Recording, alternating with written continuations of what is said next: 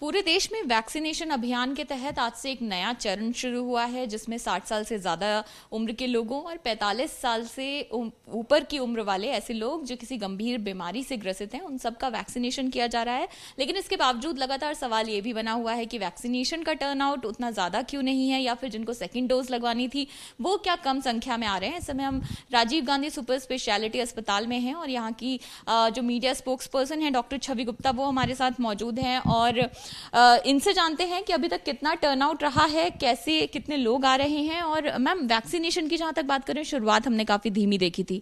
और second dose में भी देखने को आया है, दिल्ली में भी देखने को आया है कि लोग कम आ रहे हैं। क्या वजह लगती है आपको और आपके हॉस्पिटल की बात करें तो कैसा टर्नआउट है? आ, सही कह रहे हैं आप बिल्कुल। सेकेंड डोज में टर्न आउट कम है और इसका मेन रीज़न है डर। लोगों में डर बिल्कुल ख़त्म हो गया है। उनको लग रहा है हमने फ़र्स्ट डोज लगवा ली है तो बिल्कुल ठीक है। अन एजुकेशन नॉलेज नहीं है कि हाँ सेकेंड डोज भी लगवानी है चार हफ़्ते बाद। और हॉस्पिटल का स्टाफ भी कम जा रहा है। सबको ये लग रहा है कि चार से छः हफ़्ते में लगवा सकते हैं। तो हर कोई प्रेफर कर रहा है कि वीकेंड से पहले लगवा ले ताकि दो दिन हमें रेस्ट भी मिल जाए। तो यही कुछ रीजंस हैं जिसके कारण हमारा सेकेंड डोज में टर्नआउट कम हो रहा है। आपने भी फ़र्स्ट डोज वैक्सीनेशन का लिया हुआ है वैक्सीन का लिया हुआ है फ़र्स्ट फ़र्स्ट डोज आपको अभी कितने दिन ड्यू हैं और आपका मतलब कितना सेकेंड डोज लगवाने में कितना डिले हो रहा है? Uh, मैंने first dose in the end of January लगवाया था। मेरा सेकेंड डोज ड्यू है। कुछ दिन पहले ही मुझे लगवाना था।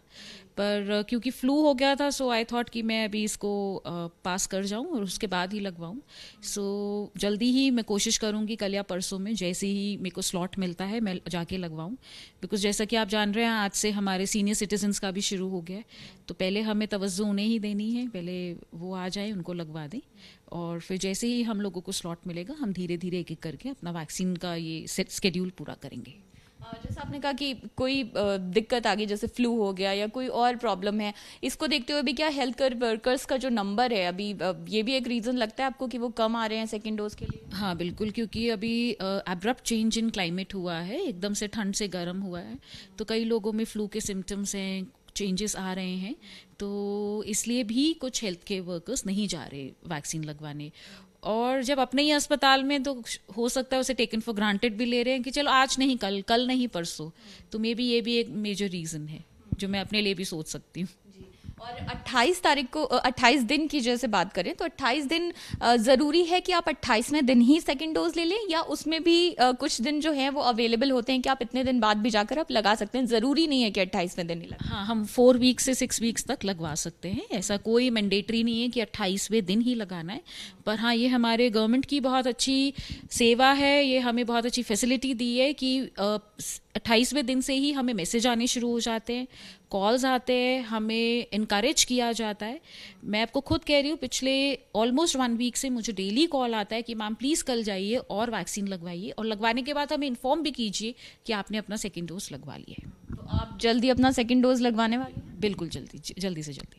और वैक्सीनेशन को लेकर क्या उम्मीद करती हैं? क्योंकि आज से एक नया चरण भी शुरू हो गया है तो ज़्यादा से ज़्यादा लोग वैक्सीनेशन के लिए आए। आपके अस्पताल में क्या कुछ आप लोग लोगों को मोटिवेट करने के लिए, जागरूक करने के लिए कुछ कर रहे हैं? या जो आपके हेल्थ केयर वर्कर्स हैं, जो अभी सेकेंड डोज के लिए नहीं जा रहे हैं, उनके लिए कुछ कर रहे हैं?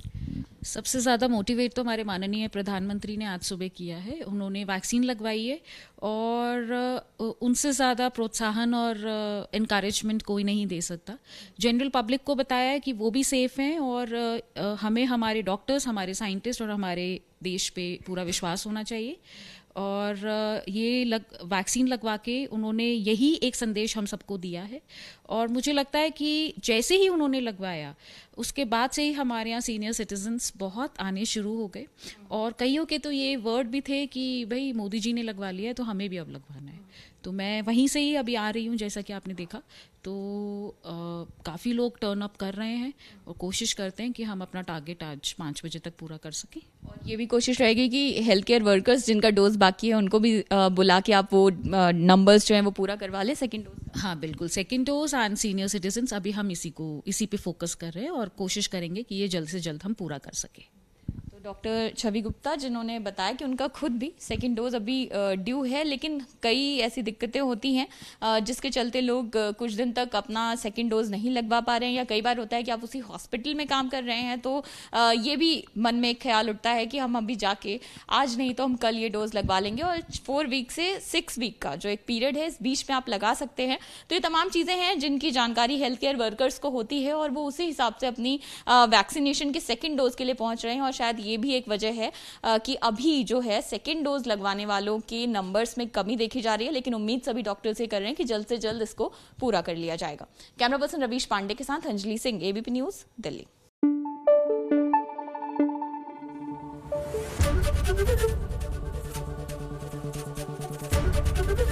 ABP news आपको रखे आगे।